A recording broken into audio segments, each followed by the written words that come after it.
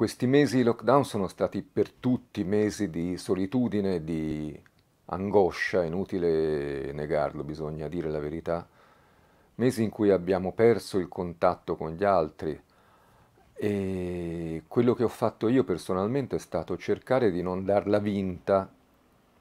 al lasciarsi andare, alla voglia di non fare niente, al fatto che se si sta in casa non si fa, no, cercare invece di fare qualche cosa di buono del tempo che ci viene dato, anche se questo è un tempo, se non di prigionia, di, di, di monastero in qualche modo. Allora ho cercato di scrivere il libro che da anni volevo scrivere su mia madre, una pagina al giorno sostanzialmente ho cominciato a chiamare a raccolta i ricordi, le parole che mia madre usava e da quelle ho cominciato a tessere la trama di un libro che è quasi finito e che è ciò che mi ha messo in comunicazione con il me stesso bambino, quindi ho ritrovato almeno un amico, cioè me stesso di tanti anni fa e, e forse un po' anche mia madre che adesso non c'è più.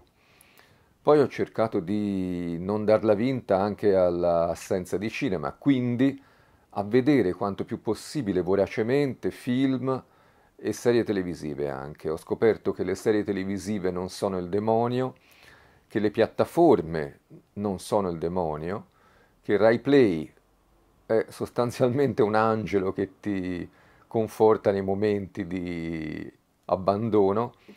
e ho scoperto delle serie meravigliose come Il Paradiso delle Signore della prima e seconda stagione, per dirne una, o la recentissima Regina degli Scacchi, che è straordinaria.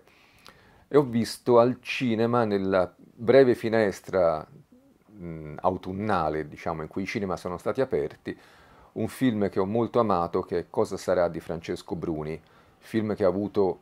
una difficile uscita, doveva uscire a marzo, poi doveva uscire, è uscito in autunno, poi è approdato adesso sulle piattaforme. Se non l'avete visto vi consiglio di vederlo.